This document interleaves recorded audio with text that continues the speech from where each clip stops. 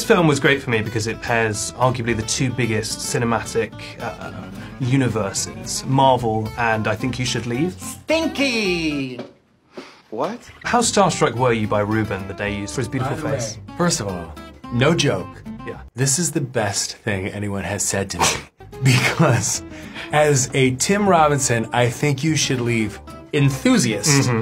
When Ruben showed up, I believe the technical term would be I lost my. You flew off the handle like a steering wheel that wasn't properly attached. Yeah. That is a good idea. I was so stoked. Mm-hmm. Like, oh my God, it's the guy from I Think You Should Leave.